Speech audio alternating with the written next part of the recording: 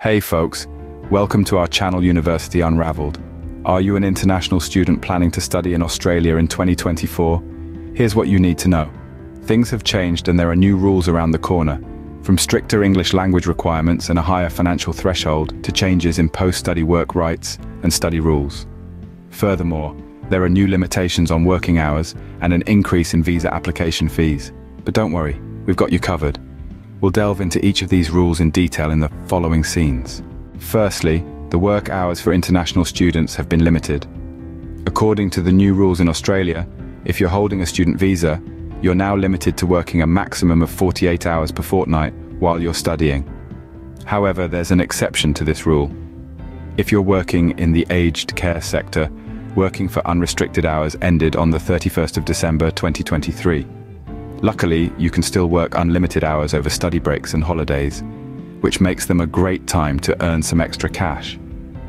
So if you're considering part-time work while studying, bear in mind these new limitations. Remember, balance is key.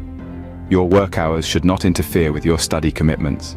Secondly, Australia has introduced stricter English language requirements. The land down under now mandates higher proficiency in English for international students. The minimum IELTS scores have seen an increase.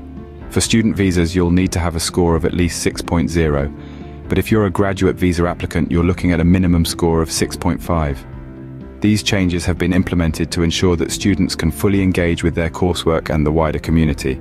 So, brush up on your English skills before applying for your visa. Thirdly, the financial threshold for student visa applicants and visa application fees have increased. Visa applicants are now required to demonstrate a minimum financial threshold of 24,505 Australian dollars. This increase aims to ensure that international students can cover their living and study expenses comfortably. Alongside this, visa application fees for several subclasses have also seen a rise. Student visas have increased from $650 to $715. These changes are part of broader efforts to maintain the quality and integrity of Australia's international education sector. Make sure you're financially prepared before embarking on your Australian educational journey. Last but not least, changes have been made to post-study work rights and study rules. For starters, the post-study work rights for international graduates have been trimmed down. The extended work rights have been pulled back, and extensions to the temporary graduate visa are now mainly limited to regional areas. The maximum stay per the temporary graduate visa route is limited to three years for students doing masters by research and PhD. In addition, there's a new rule on the block. Concurrent study is now off the table for international students, except for those who were enrolled in multiple courses before the changes took effect. Additionally, applicants must be in Australia to lodge their application and cannot be older than 35 years of age. The previous maximum age for applicants was 50. These changes aim to ensure that international students are genuinely here to study and gain in-demand skills.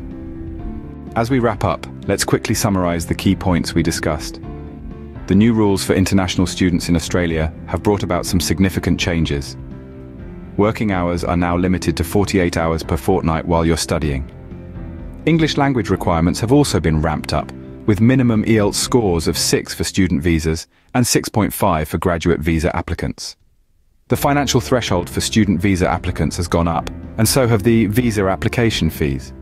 Post-study work rights have been reduced, and concurrent study is now off-limits, except for students already enrolled in multiple courses.